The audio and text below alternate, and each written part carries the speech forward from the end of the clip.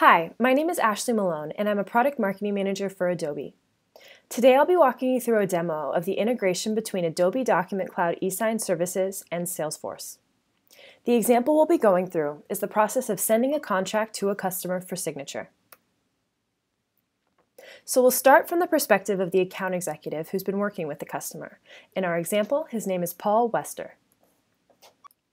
Paul can send a contract for signature from any Salesforce object, including opportunities, contacts, and chatter, and on any device, from desktop to mobile. And he can kick off the process with just one click using the Send for Signature button. On mobile, Paul would simply click the plus button and then select eSign Manager. Paul can configure the signature details by selecting multiple recipients, setting their signing order, and adding host signing if necessary. All 16 Salesforce languages are supported globally, so he can do business just as easily with his international customers.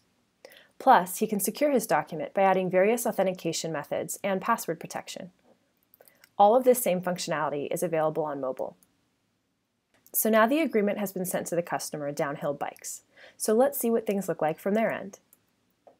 The representative from Downhill Bikes, Steve Malkmus, can sign from anywhere, on desktop, mobile, or web. He doesn't have to download or install any additional software. It's as easy as opening an email. If he had happened to be meeting with a customer face to face, Steve would simply click Host Signing, pass the device to the signer, who then verifies their identity, and then they can either sign by typing their name or drawing it with a stylus or their finger. All right, so now that the document has been signed, let's go back to Paul, the account executive's perspective, to see how the process finishes up. Once the contract is signed, the deal status is reflected back into Salesforce and can be communicated in Chatter as well.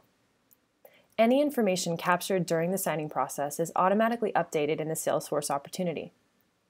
And the signed contract is stored right in Salesforce, easy to search for and access.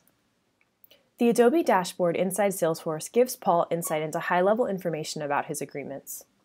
And an audit trail is available to give him complete visibility into the contract's history. And that's it. With Adobe Document Cloud eSign services integrated into Salesforce, you can get quotes, contracts, and other agreements e-signed in minutes without ever leaving your Salesforce account.